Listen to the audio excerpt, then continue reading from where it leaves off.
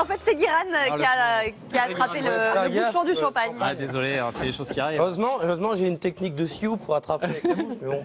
Allez, question de Monique euh, pour toi de Châteauroux qui te dit Ça fait plusieurs années que mon mari rêve de passer une nuit dans le désert du Sahara. Il a trouvé plusieurs agences de voyage qui organisent ce type d'excursion, mais je ne suis pas très rassuré par cette idée. Est-ce que la sécurité des voyageurs dans le Sahara est bien assurée? Alors, pour euh, connaître les conditions de sécurité dans, toutes les régions du Sahara, le mieux c'est quand même de se rendre sur euh, le site des du ministère des Affaires étrangères. Et donc là, qu'est-ce qu'on nous dit? On nous dit que globalement, la Tunisie et euh, le sud algérien présentent quand même des risques et que la zone globalement la plus protégée, c'est le sud marocain à l'ouest d'Agadir, par exemple la vallée du Dra. Alors la vallée du Dra, c'est autour de, c'est le long de, de- de la rivière du Dra, et là, on a réellement des conditions de sécurité totalement, totalement euh, réunies. Alors le risque zéro n'existe pas, Ouais. mais beaucoup de voyages sont organisés. On a des paysages vraiment très agréables, la vallée, des dunes, les ergues, et euh, le village de Mamid, par exemple, qui est à 60 km de la frontière algérienne, qui est protégé. Il y a un plan de vigilance, et là-bas, précisément, par exemple, il n'y a pas de danger. Les touristes euh, sont tout à fait euh, aptes à y aller en toute sécurité. D'accord. Tu recommandes en général le Sahara Moi, je recommande parce que c'est quand même assez impressionnant. C'est-à-dire c'est que c'est Oui. quand même très très beau l'Ouest d'Agadir. Et puis toutes ces pays, tous ces paysages qui changent, les Barkhanes, les herbes, c'est quand même très très beau. Ouais. Les oasis, euh, Mais bon, effectivement, aller sur le site du Oui, ministère de- prudent. des Affaires étrangères, absolument. ce sera un bon début. Mélanie, une question de Morgane.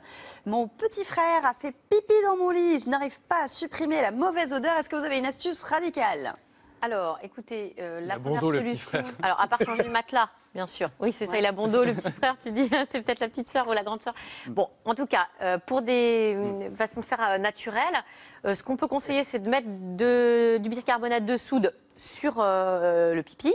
Vous laissez 3-4 heures vraiment pour que ça fasse effet Imprègne. Pour que ça imprègne exactement. Et ensuite, vous passez l'aspirateur sur le, sur le matelas. Ouais. Ça, c'est la première solution euh, à faire tout de suite. Ouais. Ensuite, pour ça désinfecter, bien, ça. voilà, ça, ça marche très bien. Ensuite, effectivement, il y a quand même le- le- l'urine, c'est c'est désirable de laisser ça à même le matelas. Il faut désinfecter. Dans un petit vaporisateur, vous mettez de l'eau chaude. Vous mettez euh, du jus de citron dans cette eau chaude et une cuillère à une ou non trois gouttes de parce que sinon c'est très essentielle. fort D'huile essentielle. essentielle de citron. Ouais. Et C'est très fort, c'est désinfectant, c'est purifiant. Vous aspergez, il n'y a pas besoin de rincer. Donc ça va désinfecter euh, voilà, le, le matelas. Bon, très bien, naturel. Naturel, Efficace. euh, efficace, pas très cher. Cher, Rapide. euh, que demande le peuple Rien d'autre. Et Merci Mélanie. Ça nous plaît beaucoup. Allez, question de Françoise pour Gérard, un moment touchant dans la quotidienne aujourd'hui. Euh, non, c'est Françoise d'Allevar euh, en Isère. Bonjour Françoise. Euh, bonjour. Bonjour madame. Françoise. Vous allez bien Françoise? Oui, bah écoutez, ça va, je vous remercie. Voilà, ma question était pour Gérard. Ah oui. Euh, je dois déménager euh, rapidement, plus rapidement que prévu. Et donc, euh, j'ai trouvé un appartement qui me convenait, mais pas totalement. Mais enfin, dans la précipitation, on fait ce qu'on peut. Et donc, j'ai signé un bail le 15 novembre qui est, pour qu'il prenne effet à partir du 10 décembre parce que le propriétaire ne, ne pouvait pas attendre plus, alors que moi, mon, mon fin de bail n'est que fin janvier.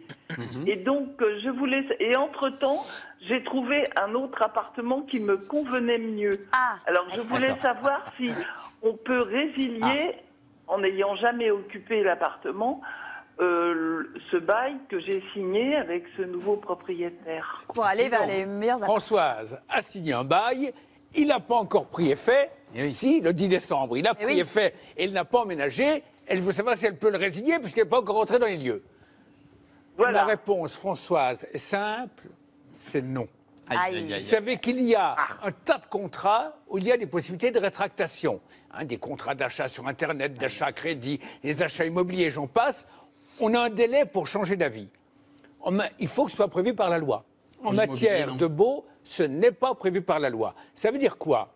Ça veut dire que, que vous alliez dans les lieux ou pas, finalement le propriétaire s'en moque, le bail a commencé depuis le 10 décembre.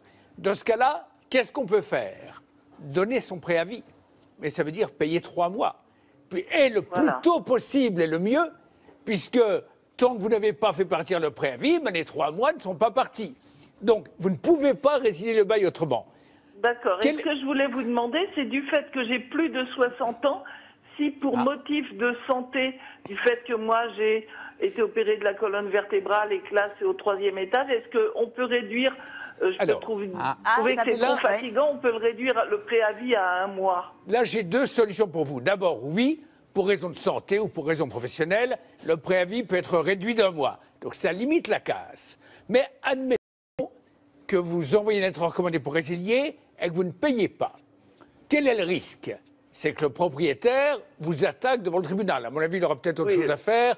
Il trouvera un autre locataire. Mais surtout, si vous, vous proposez un autre locataire qui a des revenus similaires aux vôtres, il n'a pas de préjudice, il ne peut rien réclamer. Et c'est vrai pour tous les Ah, préavis. tu conseilles de Et trouver donc, un remplaçant. À partir de ce moment-là, l'idéal, c'est que vous trouviez un remplaçant, Ah oui. que le propriétaire l'accepte ou pas, peu importe, vous, vous n'avez rien à payer. Ah, c'est Mais pas mal ça. garantie quand même. Avec les mêmes garanties. C'est-à-dire, si vous avez un salaire de Ah. X, Eh oui. il faut que celui que vous présentez, il a Et un des salaire de revenus X également. équivalents. D'accord.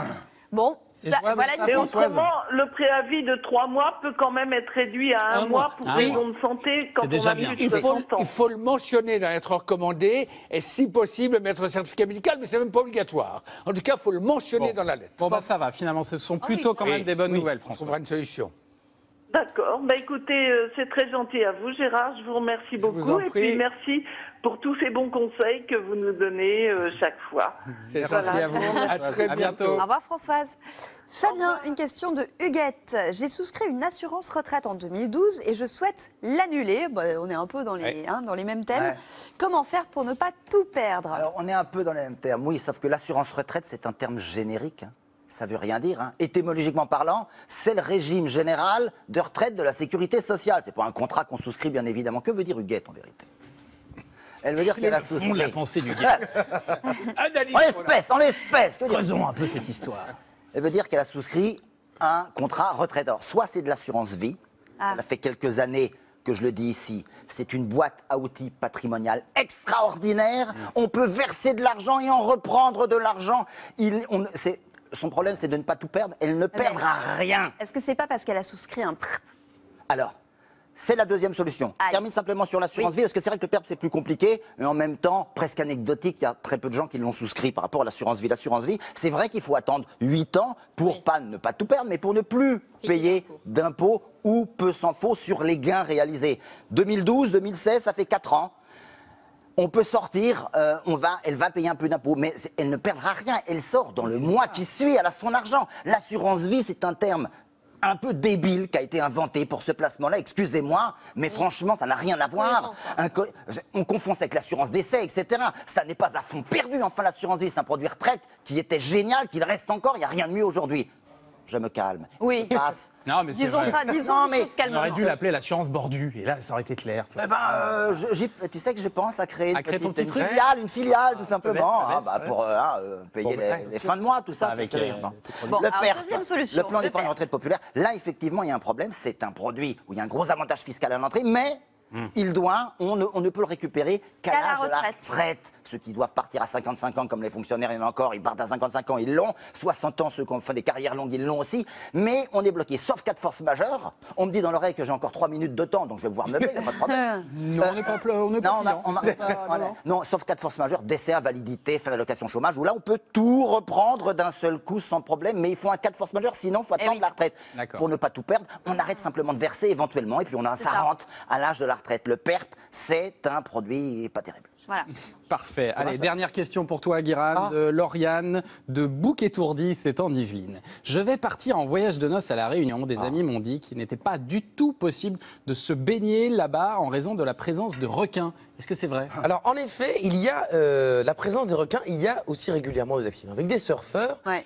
Cependant, ce n'est pas vrai qu'il n'est pas possible du tout Hein? de se baigner. Parce qu'il y a déjà, premièrement, des arrêtés préfectoraux qui datent, euh, des arrêtés municipaux et préfectoraux qui datent de 2016, et donc qui restreignent des zones Ouais. qui sont balisées. Donc là, il faut vraiment se renseigner avec, euh, donc que ce soit dans le lagon ou euh, en pleine mer, il faut se renseigner.